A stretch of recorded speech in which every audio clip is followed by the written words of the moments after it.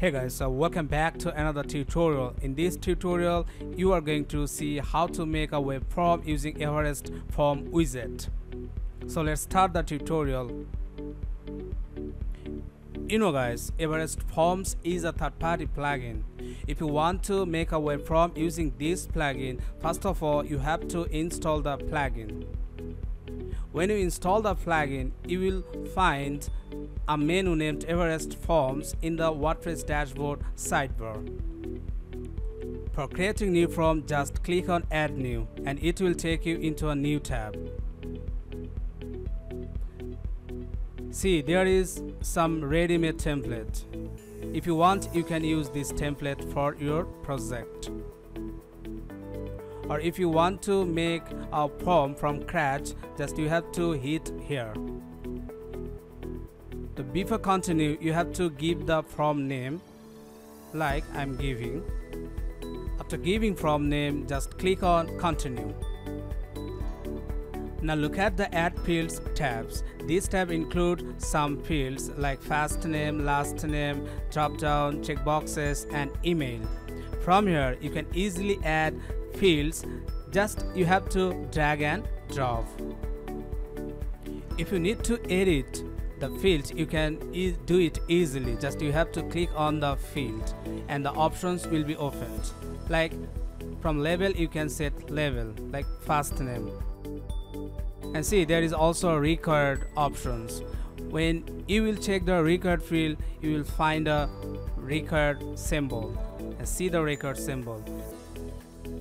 And you can do this for every fields now you come to drop down fields and select you will find the edit options. And look at the level. Select department. From here I have set select department level. And there is choose options. If you click on the drop down you will find this choose options. And if you want to increase the choose options you can easily do it. See I'm clicking on plus sign. And then another choose options has been added there is another important things required field. And you can check this. Most importantly click on the pen sign. Here you will find options to adjust the column. You can add two column or single column. So you have to work here. The another thing is adding row. And you can do this easily. Just you have to click on add row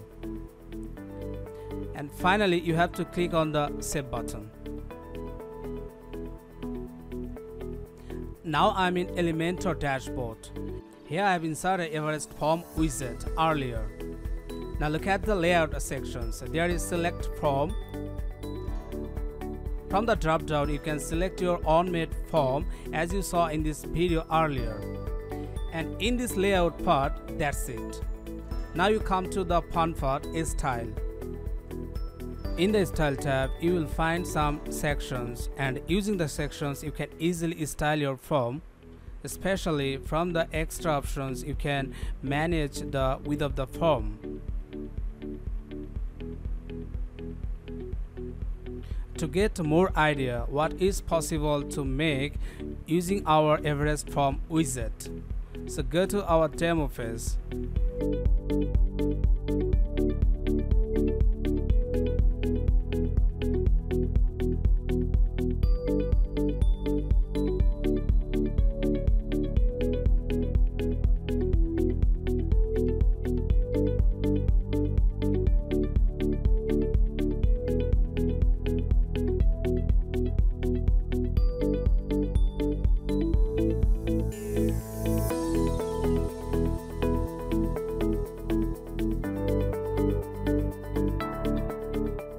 At the end of this tutorial hopefully you have enjoyed and thanks for watching